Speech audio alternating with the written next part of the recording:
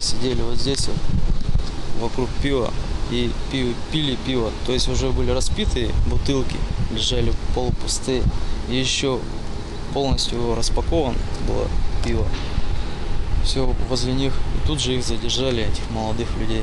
Даже если бы в ночь после Дня города ничего криминального на территории Центрального парка культуры и отдыха не произошло, полицейские вневедомственной охраны все равно бы задержали этих молодых людей за незаконное распитие спиртных напитков в общественном месте. Однако в этот раз парни попались на более серьезном проступке. В 4 часа ночи они украли в одном из летних кафе два ящика пива. Здесь охрана сидела на ночь, которая остается.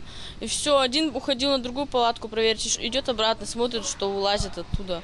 Вот где лавочки стоят, они отодвинуты и пытаются вынести пиво. Он их остановил, все, они обратно занесли.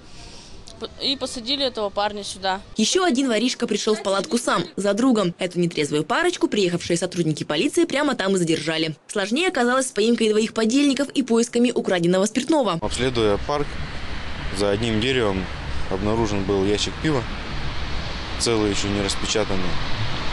Все методом вычисления, куда могли молодые люди направиться, потому что выходов мало из СПКО, были отработаны все эти выходы. На одном из выходов были задержаны еще двое человек. И снова воришек подвела пагубная любовь к пиву. Жажда выпить не дала молодым людям далеко уйти с места преступления, а шуршащая упаковка напитка точно указала полицейским местонахождение преступников. Двое из них оказались несовершеннолетними. Один приехал на День города из области. Общий ущерб от содеянного ими составил около трех тысяч рублей. Сейчас судьба воришек зависит от решения суда.